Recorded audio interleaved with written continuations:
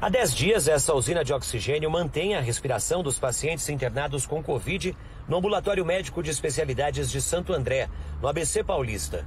Mas nessa madrugada, o sistema falhou.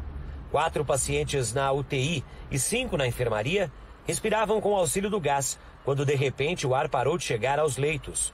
Duas mulheres de 81 e de 41 anos e um homem também com 41 anos de idade não suportaram a falta de ar e morreram na hora.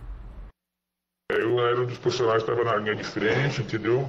E assim, pegamos três pacientes é, mantendo ventilação mecânica, né? Aí o pessoal já estava sabendo que não podia receber mais pacientes de ventilação mecânica. Aí na noite recebeu mais dois pacientes. Quando chegou um outro paciente que ligou na rede, a rede caiu. A rede caiu e não tem estrutura de reserva de oxigênio aí.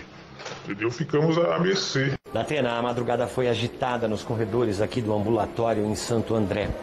Os funcionários perceberam os leitos de UTI apitando, sinalizando a falta de oxigênio. Foi então, Datena, que o sistema reserva foi acionado. Aqui no ambulatório existe um tanque e também um cilindro de oxigênio reserva. Além disso, eles pediram ajuda do SAMU, que enviou 12 cilindros de oxigênio aqui para o ambulatório. Porém, quando a ajuda chegou, já era tarde demais três pacientes que estavam internados na UTI já estavam mortos. A pane, a pane foi uma pane provavelmente elétrica da usina de oxigênio. Em 10 dias de operação, esta já é a segunda vez que a usina de oxigênio apresenta problemas.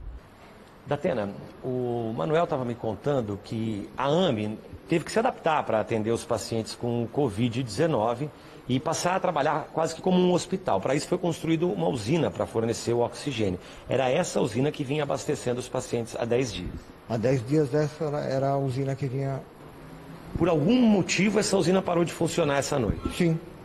E é aí que tem que entrar a investigação. Isso. Existe uma, uma equipe para fazer essa manutenção, certo? E parece que não foi adequada, daí o esse pedido de afastamento. O governo do estado de São Paulo pediu que a AME Santo André afaste temporariamente todos os funcionários envolvidos no abastecimento do gás, até que os fatos sejam apurados.